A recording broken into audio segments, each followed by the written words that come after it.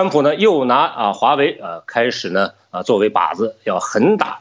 狠追、猛打啊，不打到他趴下呢，似乎是不作休这样的一种态势啊。我们最新看到呢，就是啊，川普星期三发布的这个行政令，也就是啊允许美国禁止啊这个使用呃对美国国家安全造成威胁的啊这些国家的外国呢生产的这种通讯设备。那么这很明显的被解读成为呢就是针对华为的。而且呢，现在美国商务部也对华为及其七十个子公司呢啊提出了相应的啊这种呃禁止呃禁令啊，也就是说呢，认为啊已经是被列入黑名单。这华为的日子呢，在美国几乎呢就已经是啊被扫地出门了啊，有这种态势。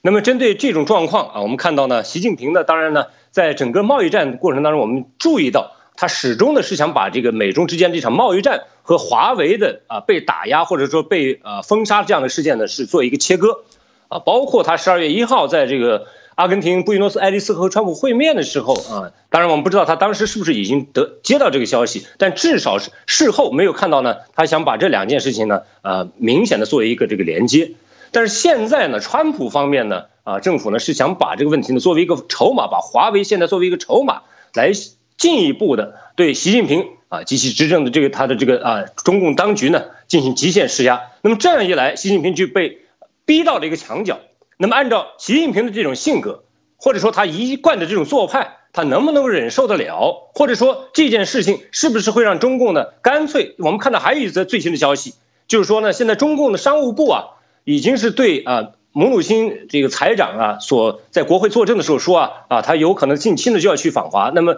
中国商务部啊认为呢，我们没有接到美方的这个啊来华的这种安排。同时，呃，中国的这个党媒啊《人民日报》呢还发表这个文章呢，就是说呢啊，至少得有啊诚意才有来谈的这种啊必要。那么言下之意就是你没有诚意就可以不来了。那么现在看来，中国这种态度呢没有软化的迹象，反而是啊逐渐在。啊，越来越激化，或者双方的这种火苗是啊，这个此起彼伏啊，你涨我高啊，那么是这样的下去的话，这种连锁反应呢，啊，似乎是啊，可能是双方啊，或者说呢，啊，某些评论人士呢是没有想见到的。那么就这个问题，首先请问啊，请教小平，请发表你自己的看法。这个川普加税啊，中国反击，在这个当口呢？美国又把他的财政部长派到中国去，首先就是一招臭气，啊，嗯，你显示你着急嘛，对不对啊？你沉不住气嘛，是不是啊？你想要这个协议嘛？所以你这种心态被中国看见了，嗯啊，你川普还在这个推特上连续的发帖，你憋不住嘛，对不对啊？所以习习近平很清楚的看到。你很想要这个协议，那么习近平呢？当然他要想这要这个协议，但是呢，他能比你川普憋得住啊，对不对啊？他可以不计代价呀，拖你啊，对不对啊？那么你去派的人去，所以说你如果真的想要，你就得学中国人那那那些臭招，就是说欲擒故纵啊，对不对啊？所以这是这是这是这个，就是说真的是这样，就是原来习近平本来就拖。想拖一拖啊，等等你这个美国变天啊，等着对他有利的形势。但是呢，是你还要派这个梅鲁钦呃姆鲁钦去啊，这就是问题啊，这是问题。那么现在实际上是啊，川普加了税之后，北京并没有妥协啊，对不对啊？嗯。那么这个时候，川普呢，把华为这个武器拿出来了。呃，尤其是华为为代表的一批这个中国的企业呢，似乎是啊，给他啊很很有面子的这种感觉啊，攻城略地啊，在欧洲，尤其在欧洲这样的地方啊啊，在其他的一些呃东南亚国家等等。那么可以说是占据了很多市场份额，所以让他也感觉刚才啊，彭博士你说的有些底气了。当当时呢啊，还有这个关税的这种分析了，那是另外一方面了。但是我就说呢，华为对他的这种重要性是不言而喻的。现在川普拿这个挑他的神经，到底会啊起到这种极限施压的一种正面效果呢，还是一种负面效果？小平再谈谈。这个我刚才已经谈，就是在策略上，就是这个川普失误了，这不应该派这个部长、财政部长去，这是一个啊。嗯嗯。另外一个呢，在战略上，这个我们就要谈的是这个问题，就是说，啊，华为是一个比贸易战还要大的目标，啊，我也不同意你们刚才谈的，就是说它是一个科技战，对华为之战绝对不是科技战，而是美国对中共的党国之战啊，这么一个大目标摆上日程啊，那么这个战略目标有多难，可想而知啊。这个这个是一个，这是一个很大的问题啊，我觉得要这次要分析的啊，这个。现在的媒体认为，就是说啊，打华为是作为一个赢得贸易战的手段来分析的，嗯，是不是啊？如果你要这样处理这个问题的话呢，你就把华为的分量看得太轻了啊。实际上，华为应该比贸易战还重要。正确的战略是什么呢？先吃下贸易战，然后再集中所有的力量来吃华为啊。现在你的贸易战这块都没有吃下来，你现在又开始吃华为，所以说呢，带来了这个你实现目标的困难。问题在这。那么最后我的分析就是说呢，既这样的做既不有助于帮助你实现啊你得到的一个贸易的这个协议啊，就是你最满意的，同时呢，对你打华为也不利啊。他中共会把这两个东西捆绑起来，在这样一种情况之下，你让习近平他怎么退呢？啊，这是很大的一个问题。嗯，呃，华为现在呢，这个作为一个杠杆，被川普现在再次用了起来。那么这次使用能不能就把习近平打趴下？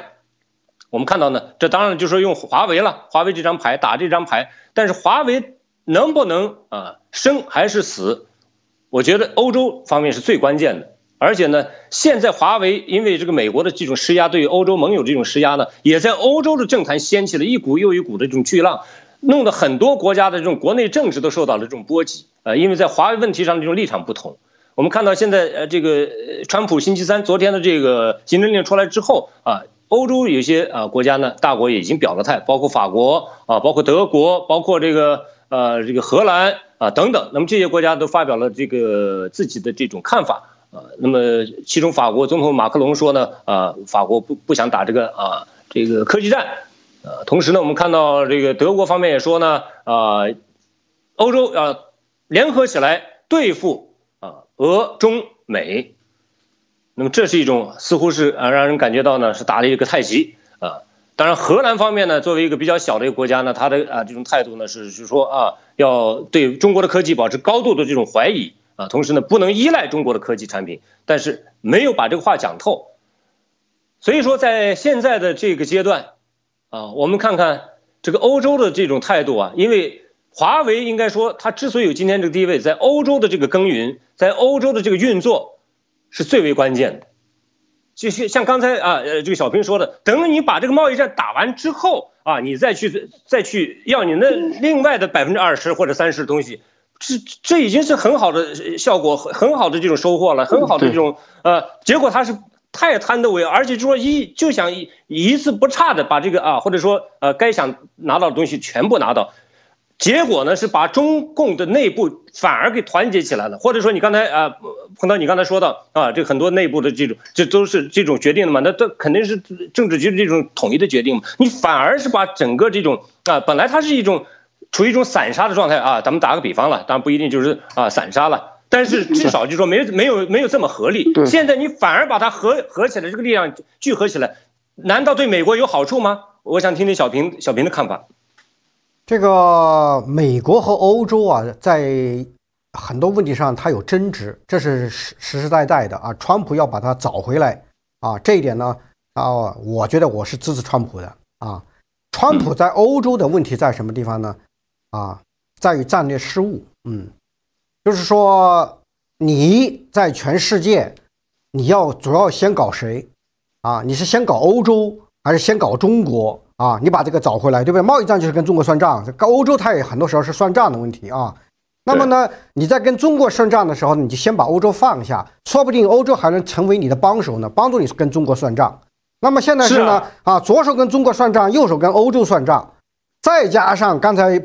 潘涛博士说的，就是说在传统上，欧洲就注意跟美国保持距离，对不对啊？这样的话呢，就把美国和欧洲的距离越拉越远。那么到现在，这个欧洲已经开始自主自己的军队这样的一种层次上来说呢，我觉得川普在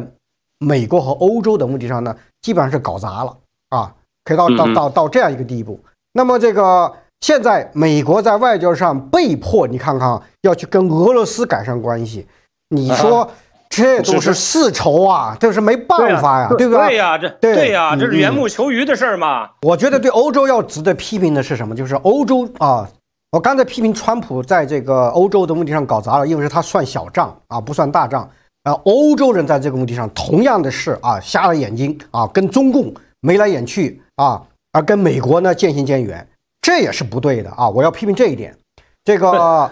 在华为的问题上，欧洲人更是瞎了眼啊，他们图贪图眼前小利，而不看重未来的这个啊更大的问题在后头。这是他们对华为它的这个。这个重要性意识不够，对华为可能带来的这个后果也意识不够，所以说欧洲在这点上一定要批评。嗯，欧洲人搞随，欧洲人搞绥靖主义那是出了名的啊。这个俄同样都面临着俄罗斯的危险，你究竟是抱美国的大腿还是抱中国的大腿？现在欧洲人答案很清楚啊，这个我们我们不抱美国人大腿。那么现在是跟中共眉来眼去，这是我说他鼠目寸光，他们欧洲人是没有尝过这个中共的苦的啊，他们以后苦在后头呢。我只是在这提醒，那个啊，挪威给洛给给，仅仅是为了给刘晓波发一个奖，就被中共收拾的惨的不惨兮兮的啊！你欧洲还不知道共产党的厉害啊？慢慢的体会吧，就往后体会，嗯，是。这是一个，但是从地缘的角度来看，毕竟中国离欧洲很远，但是俄罗斯离欧洲很近啊，那是接壤的，那说的说过来就过来了。那是俄罗斯，俄罗斯离欧洲很近，你可以抱美国的大腿来防俄罗斯，你不用问题抱不上啊，你怎么抱上？你现在就是欧洲不愿意让利嘛？问题在这嘛，对不对？你欧洲不愿意让利嘛？中国给的利多嘛？然后你靠近了中国嘛？这太简单了，账这么简单算。因为刚才碰到是，你不用美国的设备，没不用那个不华为，是华为设备便宜，所以我用华为去了。问题在这，而美国人一再告诉你这个这个这个的华为很危险，嗯，可是他就是不接受嘛，嗯嗯对嗯，也也也不是说美国呃美这个什么美国不让利。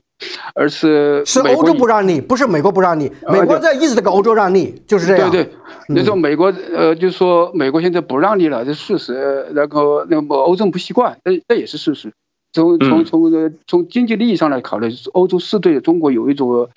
有一种依不叫依附感吧，就说一种另外的呃另外的看法。欧洲对对中国文化的看法也不一样，跟跟跟美国人的看法也不一样，对跟美国的这个保守派的看法不一样。所以说呃从不管从情感上还是经济关系上面来看的话，都美国呃中国呃西方都不愿意失去美国这个呃失去中国这个市场。而尽管中国这个政治倒退，然后呃呃呃这个什么，包括包包包括那个那个什么呃外国企业在那里的那个自由都受到限制，呃那个呃那个欧洲也很担忧，也对中国也也也施施了压，而且中国现在在美国的这个带头下，呃也不得不考虑对对对外企要另外另外相看呃另另外对待，呃我呃中国人也中国也也颁布呃也也是。发出了这方面的声音，所以说，欧洲人，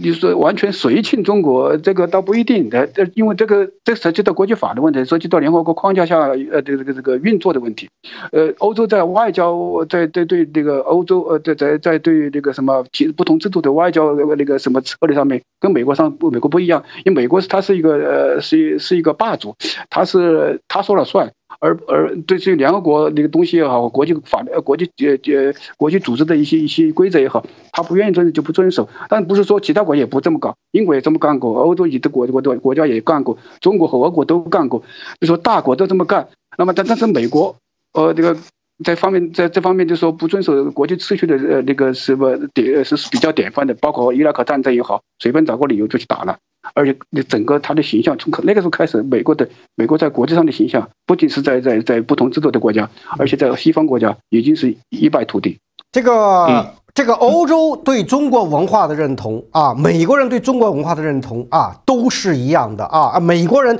这几十年来扶着中共长大的啊，比欧洲的恩情大得多。但是美国人意识到，我们不能再这么干了，是不是啊？我们不能够因为中国的市场，因为对中国的文化的爱好，我们再去扶持这个中共。所以美国人已经决定转向啊！你欧洲在这个问题上啊，你既贪图中共的小利，你没有在中共的地位上发生转向。在这个方面，美国比欧洲伟大的多。在对中共的认识上，美国人比比欧洲伟大的多，就是这样。嗯嗯，那呃，美国这个高校呢，也是啊盯上了这个华裔的啊，或者是华人，或者是中国人啊。那么现在中国留学生呢，在这些高校啊，我们最新的看到消息说是这个美国 MIT 这个招生呢，新招的这个呃六七百的这个学生当中，没有一个啊是呃来自中国的学生，这在以往是应该说是呃。不可想象的，呃，因为中国的留学生本身，他总总人数在美国的留学生当中所占的总数啊，那么就是在三分之一到四分之一之间的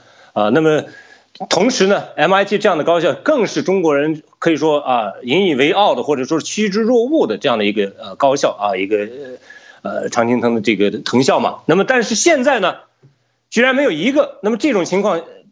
在这个中国国内，实际上首先是炸开锅了。很多人认为呢，说，哎，得你现在把这个贸易战打得可好啊，我们现在连连个孩子送孩子上学都没地儿去了。而且现在呢，美国这种不还不仅仅是针对这些高，就是说名牌名牌的高校，还有普遍的这种状况都已经开始在收紧，这种氛围在变得越来越啊凛冽寒寒冷。那么这样的状况下，呃，那么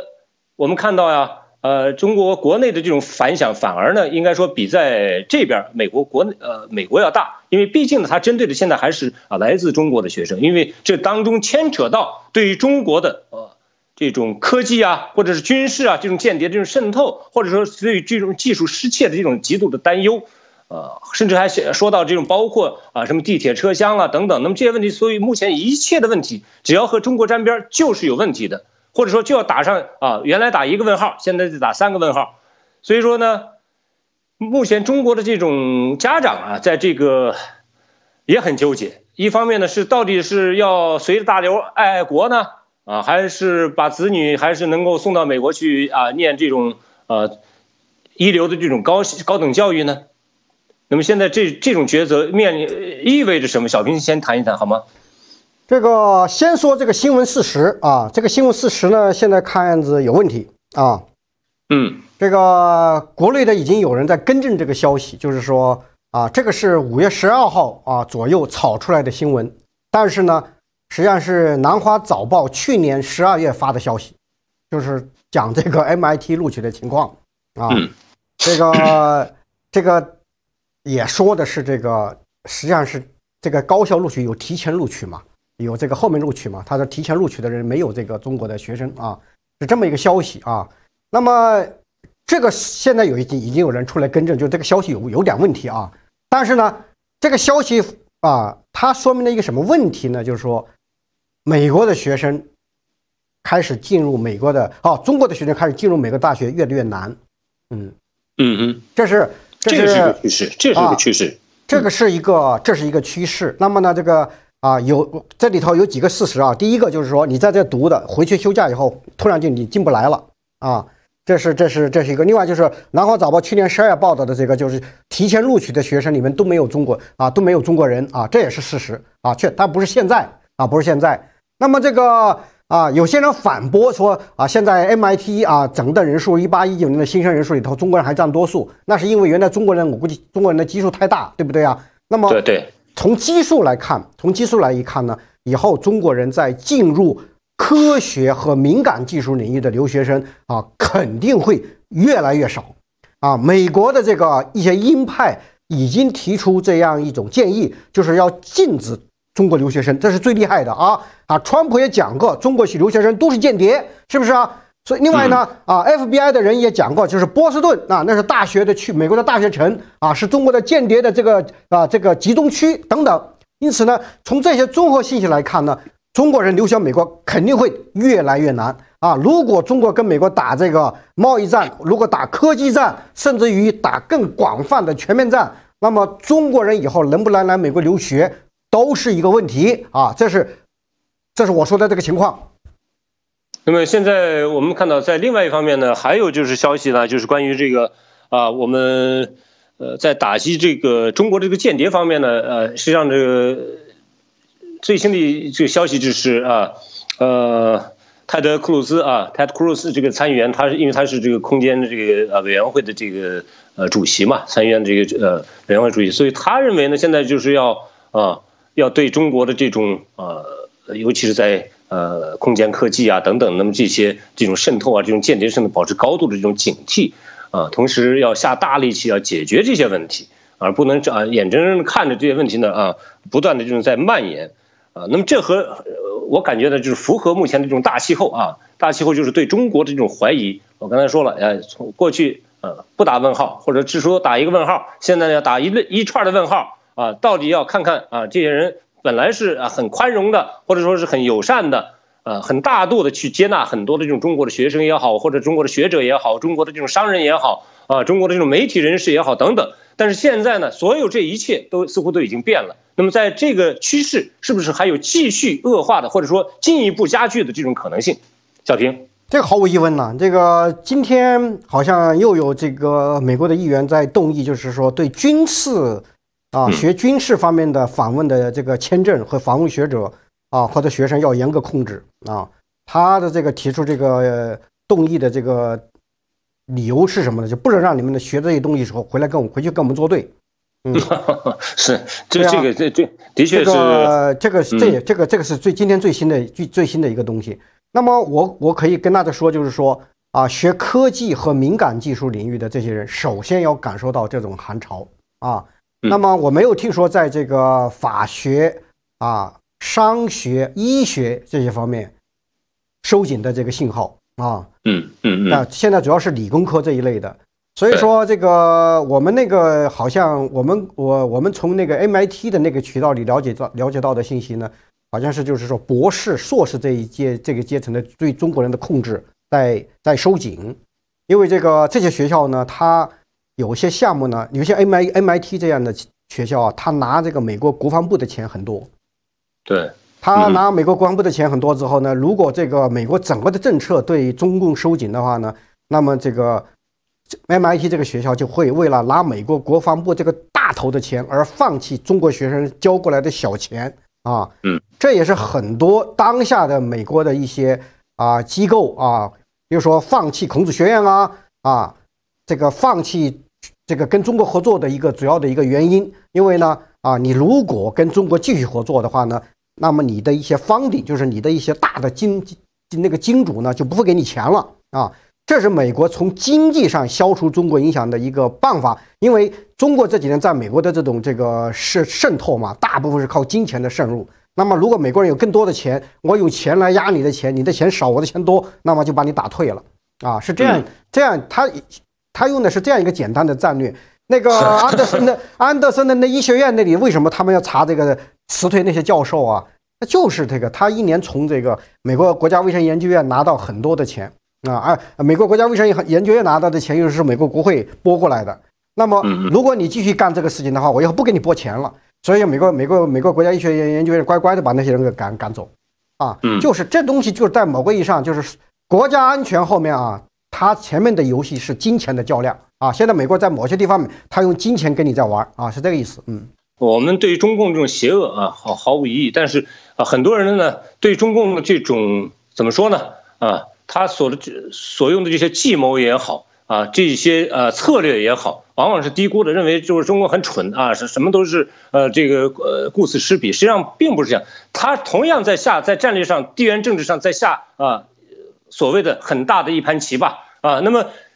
这个下棋是明显的，它的这种布局是很明显的。它一在欧洲的耕耘，比如说我们看到华为就是最明显的一个代表，它在欧洲可以说是毫无悄无声息的耕耘了。二十年，那么现在呢？突然发现，还真摆不摆脱不了它，一时半会儿吧，至少是一时半会儿摆脱不了它，这就是在下棋啊。所以说，我觉得，嗯，对，欧洲要呃，美国要打趴中国的话，一定把一定要联合欧洲、亚洲和其他呃地区的国家来来打，而这种呃，美国要做到这一步是很难的，现在，这是个大问题。对啊，总是我我就说呢，我我想呢，就是说不能小瞧或者说不能低估啊中共的这种啊他的这种作为，他的这种呃策略，他的这种想法，他的一种计谋啊，或者是他的小聪明等等，或者是大聪明，那么也只有这样他才能啊持续到今天啊，否则的话他早都啊应该说是烟消云散了，灰飞烟灭了。但是现在他之所以啊还能够现在跟美国能够对着啊对对着抄家伙对着干啊有这种架势，在说明还是有一定的这种啊。后手，或者说是他的一种布局，再给他做一些支撑，否则我相信再牛的人，呃，看到铁的事实，他不得不啊投降的。所以说现在就是说，呃，川普这么任性的做事情，的确是把美国的利益伤害了啊，我我是这么认为的啊，伤害的很很多，而且是，呃，那么对美国的这种声誉也好，对美国实际上他赚的小头丢了大头啊。他把这种战略，战略哪是钱能买来的呀？战略的这种布局和优势啊，这是多少年就巩固下来的。从马歇尔马歇尔计划就开始招来的这种欧洲的盟友啊，那容易啊？这一夜之间，不说一夜之间吧，现在至少弄的是貌合神离，是怎么能对美国有好处？我我我当然是始终是我是这么认为。不，你要注意到现在这个川普啊，他在某些方面在改变这个策略啊。嗯，他最近对这个加拿大、对这个欧洲啊，这个他他他对加拿大、墨西哥的那个那个那个税啊有有所调整，对不对啊？把它从名单摘了，跟跟欧洲的算经济账这个东西，他好像也退了，是川普在调整啊。所以说呢，如果川普在调整的话，对，那这个川普在调整的话呢？啊，他确确实意识到，他这个就是说单边主义的这种行为受到很多批评，就是他一很多人给他建议，刚才彭博士也谈到，一定要有要有盟友啊，这样这个你连一个华为都打不趴，你怎么打打趴党国呢？对不对啊？这是问题呀。那现在为什么这个任正非那么牛啊？他说你搞不死我，你搞美国你整不死我华为，东边不亮西边亮啊，他就有这底气在那儿，就是啊，因为欧洲刚才说。彭彭彭大伯说，欧洲还有战略机遇。那么呢，我想呢，这个你也这个川普，我告诉你，这前四年啊，他在试水，后四年告告诉你，他会有一些，我觉得会一些调整。如果中共强势的话呢，反而有助于川普掉头去跟那些传统盟国结盟，再回头来跟中共练啊，这是可能的，嗯。